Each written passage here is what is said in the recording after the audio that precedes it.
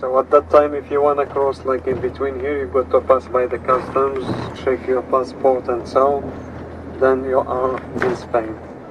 Or to the other side, similar.